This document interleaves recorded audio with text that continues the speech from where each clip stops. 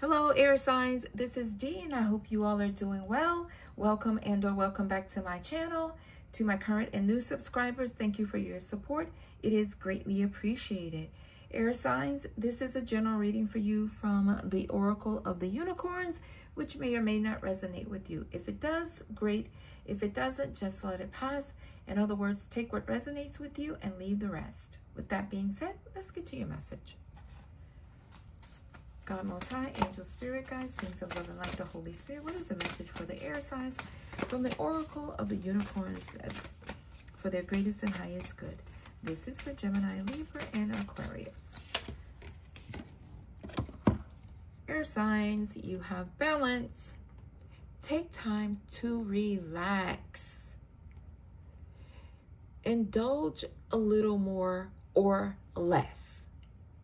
Set boundaries with your work. So I feel like this is clearly, excuse me, geared towards you setting some healthy boundaries to, excuse me, establish balance in your personal life and your work life.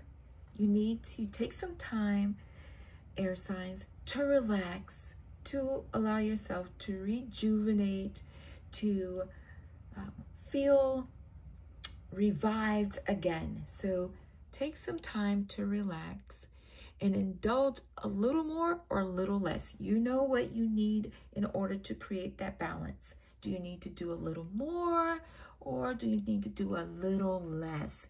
And however that looks for you. So you're being encouraged to discern, determine which which side you need to balance more or less. It's like having the scales, you know, to create the balance. Also, set boundaries with your work.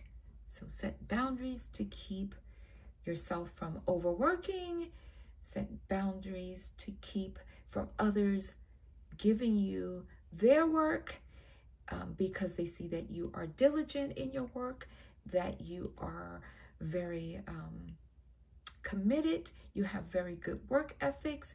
So set boundaries so that others don't take advantage of you in the workplace.